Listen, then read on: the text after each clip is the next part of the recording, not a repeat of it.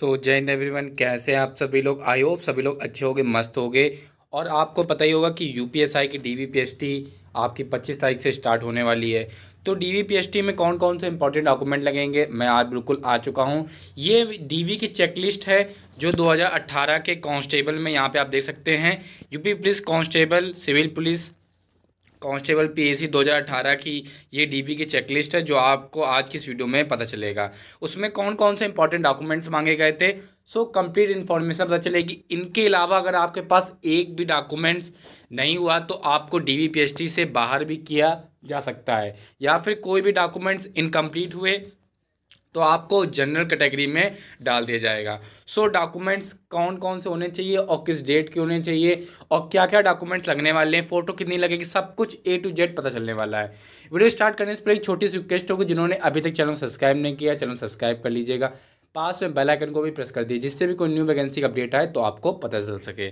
चलिए बिना ज़रिए कि आज की इस वीडियो को शुरू करते हैं। सबसे पहले बात कर लेते हैं यहाँ पे आप देख सकते हैं constable civil police constable PSC 2018 की डीवी चेकलिस्ट में आपको दिखा रहा हूँ। जब आप लोग का 2018 में डीवी हुआ था, ये कांस्टेबल का, और 2019 वाली में भी हुआ था तो उसमें डीवी में क्या क्या आया था?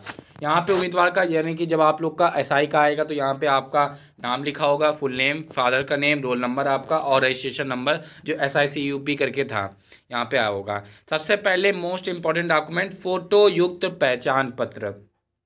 यानी कि फ़ोटोयुक्त पहचान पत्र की बात करें तो एक आइडेंटी प्रूफ। आइडेंटिटी प्रूफ में आपको क्या क्या लेके जाना होगा? अगर आपके पास आइडेंटिटी में आधार कार्ड है तो आधार कार्ड भी लेके जा सकते हैं।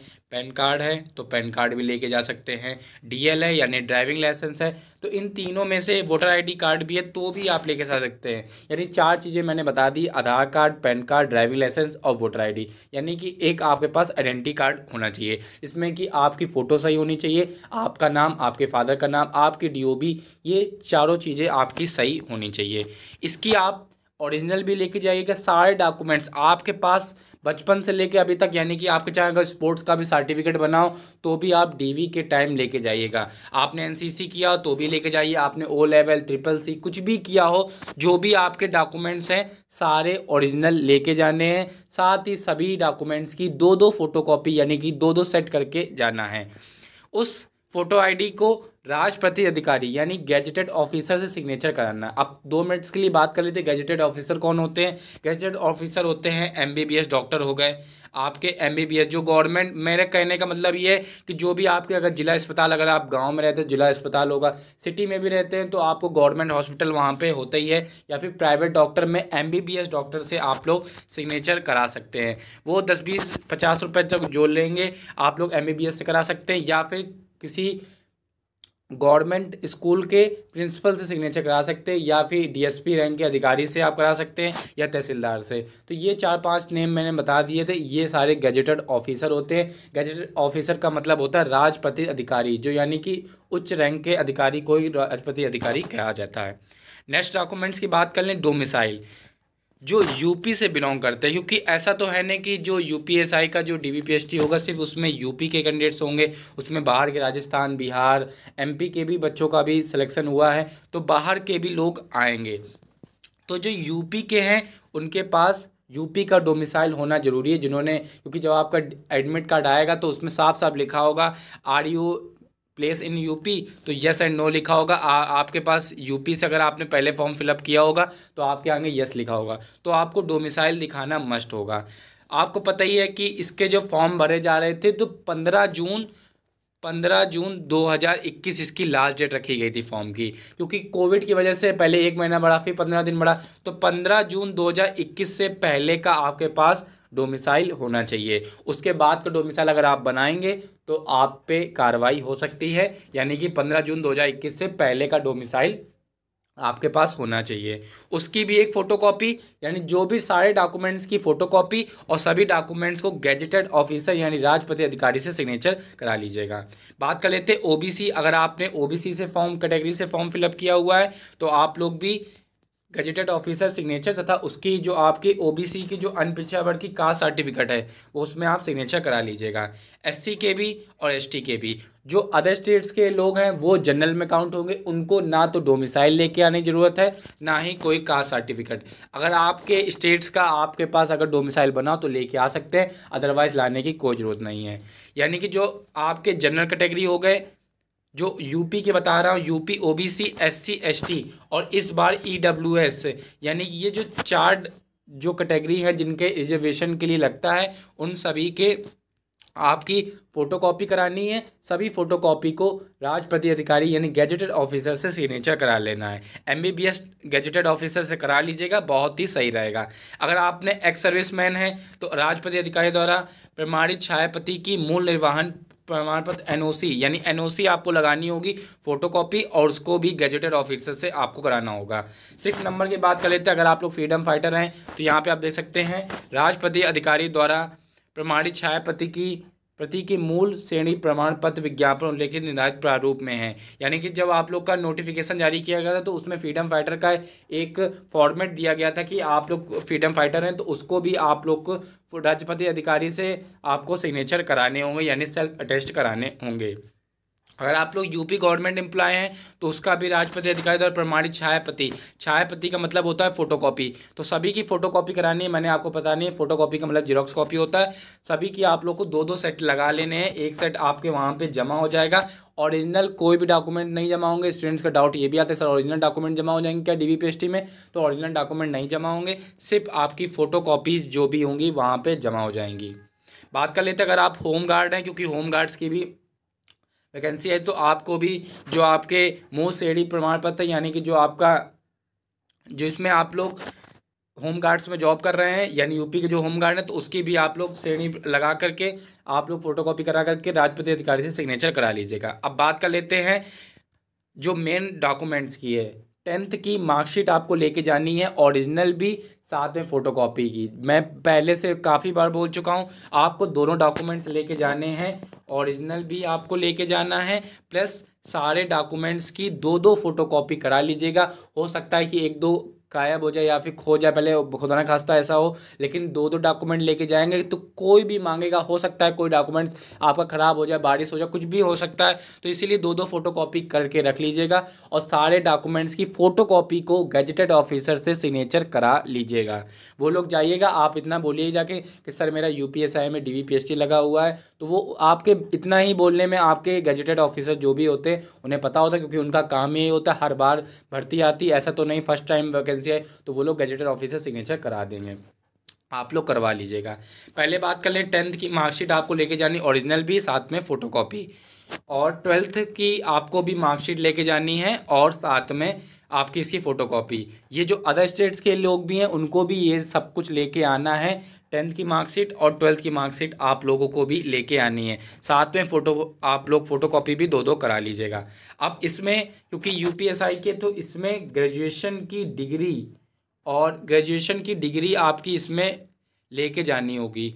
अब स्टूडेंट्स का डाउट आएगा होगा कि, सर, मेरे पास तो डिग्री नहीं है, मार्कशीट है। तो मैं आपको डियर बता दूँ 2017 में जब यूपीएसआई का डीवीपीएचडी कराया गया था तो उसमें सिर्फ़ डिग्री ही वैलिड मांगी गई थी। कुछ स्टूडेंट्स के पास डिग्री नहीं थी तो प्रोविजनल डिग्री कॉलेज से आप लोग मंगाई थी, क्योंकि प्रोविजनल डिग्री आपकी तुरंत निकल आती है और वो छः महीने के लिए यानी सिक्स मंथ तक के लिए वैलिडिटी होती है प्रोविजनल डिग्री की। तो हो सकता है कि जब आप लोग का डी हो तो डिग्री ही मांगी जाए, आप लोग की मार्कशीट ना मांगी जाए। तो जितना हो सके आप लोग डिग्री और मार्कशीट दोनों लेके जाइएगा। बाकी भगवान के ऊपर है, उन लोग के ऊपर है, क्योंकि 2017 में तो डिग्री ही वैलिड की गई थी, मार्कशीट से वैलिड नहीं किया गया। जिनके पास मार्कशीट नहीं थी तो उनको ऐसा नहीं था कि, सॉरी, डिग्री नहीं थी ऐसा नहीं था कि गेट से आउट कर दिया जाए। उनसे, उनको टाइम दिया गया था एक हफ़्ते तक का। तो कॉलेज की तरफ़ से उनको वहाँ पर कहा गया था कि प्रोविजनल डिग्री जो उनको इशू करा दी गई थी तो सभी का हो गया था। कोई भी डिग्री से बाहर नहीं हुआ था, लेकिन अगर आपके पास डिग्री है, कॉलेज से आप लोग बात कर सकते हैं, क्योंकि आपको पता है, टाइम बिल्कुल बचा नहीं हुआ है। डिग्री और प्रोविजनल डिग्री में से कोई, दोनों में से कोई एक होनी चाहिए, यानी कि डिग्री और मार्कशीट लेके जा सकते हैं आप लोग। और मेन डिग्री और प्रोविजनल डिग्री है आपके लिए। बात कर लेते हैं, अगर आपने ट्यूटोरियल आर्मी में जॉब की है तो आपको उसका छायापति यानी कि जो भी आपका आइडेंटिटी कार्ड है, वो आप लेके जाके फ़ोटो कॉपी करा के राजपति अधिकारी से कराइएगा। सिग्नेचर। एनसीसी आपने की है तो मूल एनसीसी बी प्रमाण पत्र अगर आपके पास है तो राजपति अधिकारी से उसका भी एनसीसी प्रमाण पत्र को आप लोग फ़ोटो कॉपी कराइएगा।